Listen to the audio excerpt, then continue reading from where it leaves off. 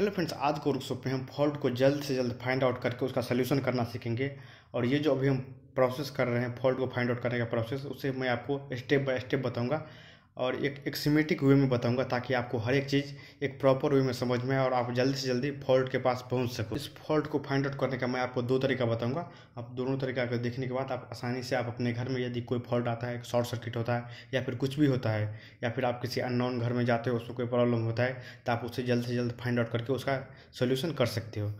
एक लंबा सा हॉल है, तीस बाय दस फीट का हॉल है, इसमें दो फ़ैन लगा हुआ है। चलिए मैं आपको पहले फ़ैन दिखा देता हूँ। पहला फ़ैन ये है हमारा दूसरा फ़ैन यहाँ पर लगा हुआ है और इसमें दो दो बोर्ड भी लगा हुआ है। एक एक बोर्ड यहाँ पे लगा हुआ है, जैसा कि आप देख रहे हो, और दूसरा बोर्ड जो है ये थोड़ा सा बड़ा बोर्ड है, इस साइड में लगा हुआ है। और इसमें मैं आपको सबसे पहले इसका प्रॉब्लम क्या हो रहा है इस इस हॉल में, वो मैं आपको पहले बता दे रहा हूँ। ये जो पहला फ़ैन है वो रोटेट कर रहा है, अच्छे से वर्क कर रहा है, कोई दिक्कत नहीं है। लेकिन ये जो दूसरा फ़ैन है, ये चल नहीं पा रहा है। तो इसी को हमें फाइंड आउट करना है कि एक्चुअल में फॉल्ट कहाँ पे है। तो सबसे पहले हमें फाइंड आउट करना होगा कि मतलब ये फ़ैन फ़ैन जो नहीं चल रहा है, वो कौन से बोर्ड में इसका सप्लाई गया हुआ है। तो हमको वो सबसे पहले फाइंड आउट करना है। ये मेरा घर है, इसमें जो वायरिंग किया गया है वो मैं खुद से किया हूँ, मुझे इसके बारे में मालूम है। लेकिन हम ये एज्यूम करके चलेंगे कि हम यहाँ पर नया हैं, हमको कुछ नहीं मालूम है।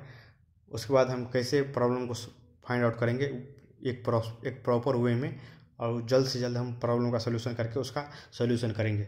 हम यहाँ पे आपको दो तरीका बताने वाले हैं। चलिए हम सबसे पहले आपको पहले तरीका को और ले चलते हैं और बताते हैं आपको किस तरीका से आपको फाइंड आउट करना है। तो सबसे पहले हम किसी एक बोर्ड के पास चले जाएँगे तो हम इस बोर्ड के पास चले आए और चलिए हम इसके सारे स्विच को हम प्रॉपर वे में फाइंड आउट करेंगे कि वो क्या चीज़ का है। तो ये दोनों जो स्विच है, इसका है और यहाँ पर चार स्विच है। जब हम इसे ऑन करते हैं तो आप देख सकते हो यहाँ पर ये फ़ैन स्टार्ट हो गया। मतलब ये स्विच इस फ़ैन का है। चलिए अब हम दूसरे स्विच को ऑन करते हैं। ये हम दूसरे स्विच को ऑन किए तो ये मेरा लाइट चल लाइट जलने लगा। हम तीसरे स्विच को ऑन करते हैं तो देख सकते हैं यहाँ मतलब यहाँ पे कुछ नहीं हुआ। हमको पता नहीं चला आखिर ये क्या चीज़ का है। फिर तो इस स्विच को ऑन करते हैं। यहाँ पे बाहर में एक लाइट लगा हुआ है। चलिए मैं आपको दिखाता हूँ।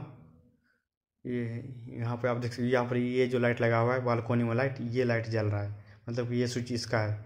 और लास्ट में जो एक स्विच है, इसे हम ऑन करते हैं, उसके बाद देखते हैं। यहाँ पर अभी अभी भी कुछ नहीं चला तो यहाँ पर दो स्विच मुझे मतलब पता नहीं चला कि ये एक्चुअली में ये है क्या। तो यहाँ पर आप देख सकते हो कुछ कुछ लगा हुआ है क्या एक्स्ट्रा तो आप देखो एक होल्डर यहाँ पर लगा हुआ है बल्ब के लिए और दूसरा होल्डर यहाँ पर लगा हुआ है होल्ड के लिए। मतलब कि बल्ब के लिए दो होल्डर यहाँ पर लगा हुआ है और दो स्विच एक्स्ट्रा है। इसका मतलब ये हम एज्यूम कर सकते हैं और सोच सकते हैं कि ये दोनों स्विच जो है इसी का है और इसी का ही होगा। क्योंकि ये दोनों बल्ब होल्डर जो है इसी के नज़दीक है, इस बोर्ड के नज़दीक तो इसी का होगा और यदि आप भी, तभी आपको विश्वास नहीं हो रहा है, तब बल्ब लगा के आप इसे चेक कर सकते हो। अब हम क्या करेंगे? दूसरे इलेक्ट्रिक बोर्ड की ओर चलेंगे और वहाँ पर फाइंड आउट करेंगे। तो यहाँ पर आप इस बोर्ड में देख सकते हो टोटल तीन स्विच लगा हुआ और एक जगह खाली है और दो डमी लगा हुआ है। मतलब कि दो जगह कुछ नहीं है, तीन स्विच और एक एक खाली है। और जब हम इसे टोटल ऑन करते हैं तो फ़ैन नहीं रोटेट कर कर रहा है, लेकिन यहाँ पर जो एक ट्यूब लाइट है वो जल रहा है और होल्डर जो है वहाँ पर कुछ नहीं लगा हुआ है। इसका मतलब हम इस तरीका से सोच सकते हैं, ये तीन यहाँ पर मतलब कि एक होल्डर है, एक ट्यूब लाइट है और एक फ़ैन है तो यहाँ पर तीन स्विच है। मतलब ये तीनों डेफिनेटली इसी का होगा और यहाँ पर एक फ़ैन रेगुलेटर होगा जिससे किसी ने निकाल लिया है, जिसके कारण ये फ़ैन नहीं चल रहा है, क्योंकि ये जो रेगुलेटर है वो इसके सीरीज़ में लगा हुआ रहता है। मैंने आपको पहला तरीका बता दिया और मैं आशा करता हूँ कि आपको सारा चीज़ समझ में आ गया होगा। अब मैं आपको दूसरा तरीका बताने जा रहा हूँ। तो अब हम क्या करेंगे? लेट्स एज्यूम करते हैं कि यहाँ पे जो दो होल्डर था, जिसमें बल्ब नहीं लगा हुआ था तो हम लेट्स एज्यूम करते हैं कि वो होल्डर नहीं है, कहीं पे छुप गया या फिर कोई भी कारण से वो हमको नहीं दिख रहा है। और हम, हमको पता नहीं चल पा रहा है कि ये दोनों जो स्विच है वो किसका है। तो ये भी, अब तो अब तो ये भी हो सकता है कि ये दोनों जो स्विच है, दूसरे फ़ैन का हो सकता है। अब जब जब मुझे नहीं पता चला कि ये दोनों स्विच इस होल्डर का है तो तब तो ये भी हो सकता है कि ये दोनों स्विच उस फ़ैन का भी हो सकता है। तब हम, अब हम किस तरीका से सोचेंगे? तो अब हम क्या करेंगे कि हम नॉर्मली व्यू करेंगे, देखेंगे कि मतलब बोर्ड का कंडीशन क्या है। अच्छे से सारा स्विच लगा हुआ है या फिर नहीं लगा हुआ है, कुछ टूटा हुआ है। हम दोनों बोर्ड को व्यू करेंगे और फिर देखेंगे फ़ैन का पोजीशन क्या है। मतलब कि फ़ैन, कौन सा फ़ैन किसके नज़दीक है? तो पहला वाला जो फ़ैन था वो उस बोर्ड के नज़दीक था और दूसरा वाला जो फ़ैन है वो इस बोर्ड के नज़दीक है। तो हम इस तरीक़ा से भी सोच सकते हैं कि ये जो फ़ैन है इस बोर्ड के नज़दीक है तो ये हो सकता है कि मतलब कि, कि उसका जो कनेक्शन है जो फ़ैन नहीं चल रहा है वो सेम बोर्ड से हो क्योंकि ये बोर्ड इसके नज़दीक है। और दूसरा दूसरा तरीका ये ये भी हो सकता है ये जो ये जो आप बोर्ड देख रहे हो इसमें से इसमें से एक जगह खाली है मतलब कि इसका फ़ैन रेगुलेटर या फिर स्विच या फिर कुछ भी कुछ भी यहाँ पे मतलब एक जगह खाली है तो हम इस तरह का सोच सकते हैं। यहाँ पे जो फ़ैन रेगुलेटर था वो किसी ने निकाल लिया है। और फ़ैन रेगुलेटर हमेशा सीरीज़ में रहता है, जिसके कारण ये वर्क नहीं कर रहा है। तो अब हम इस बोर्ड को ओपन करेंगे। तब इसके ढक्कन को अब हम निकाल दिए हैं और इसे हम ओपन करेंगे नॉर्मली और ओपन करने के बाद हम देखेंगे रियली में इसी बोर्ड में फॉल्ट आ रहा है या फिर नहीं आ रहा है। एक्चुअली में जो भी हाउस वायरिंग करता है, जो भी कनेक्शन करता है पावर सप्लाई देता है किसी लाइट में या फिर कुछ भी करता है तो वो भी ज़रा सोच समझ के ही वायरिंग करता है। तो आप हम और आप भी इस तरीक़ा से सोच सकते हैं कि ये जो फ़ैन है, ये इस बोर्ड के नज़दीक है। तो इस फ़ैन को जो पावर सप्लाई गया होगा, इसी सेम बोर्ड से गया होगा। तो इस तरीक़ा से सोच करके हम हम इस बोर्ड को ओपन करके हम देखते हैं। और जो भी इसका फ़ैन रेगुलेटर निकाला होगा, उसे फ़ैन फ़ैन एक्चुअली में फ़ैन रेगुलेटर जो होता है सीरीज़ में लगा हुआ रहता है। तो जब आप फ़ैन रेगुलेटर निकाल लोगे और उसका वायर को इसके स्विच में नहीं लगाओगे तो वो फ़ैन नहीं चलेगा। तो वो क्या किया फ़ैन रेगुलेटर निकाल लिया होगा और वायर को लगाने के लिए इस बोर्ड को खोलना पड़ा होगा।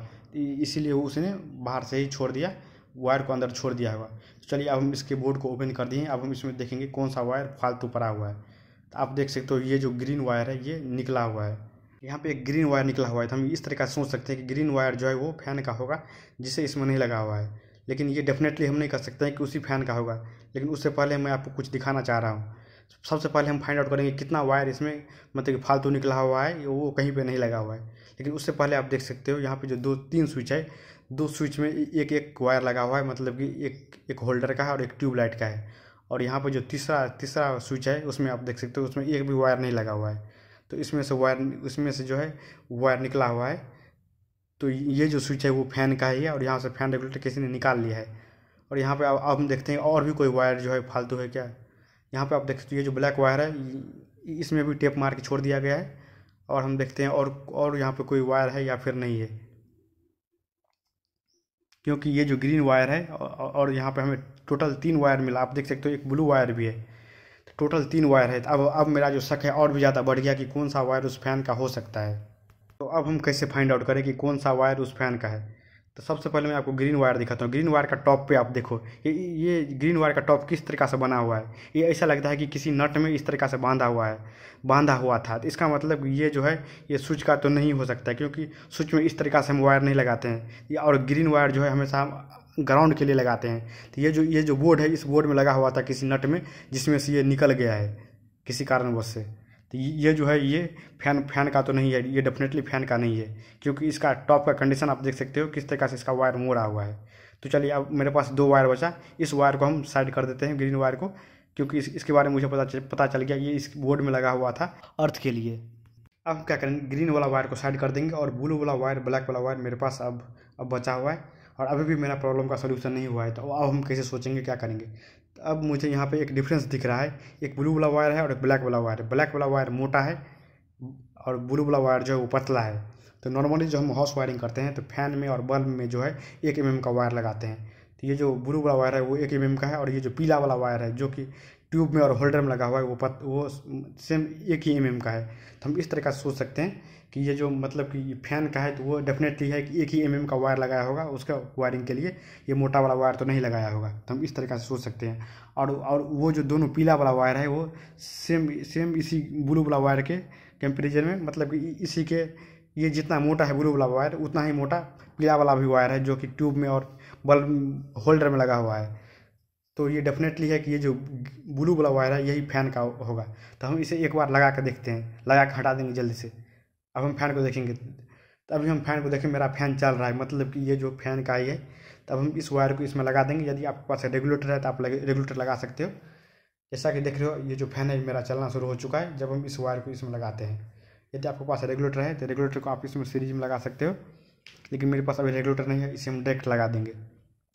और यदि आपको रेगुलेटर है तो रेगुलेटर में भी दो पिन होता है। उसके एक, किसी भी एक पिन को इस ब्लू वाला वायर में लगा दो और उसका दूसरा पिन जो है, इस होल्डर के होल्डर के इस पिन में लगा दो।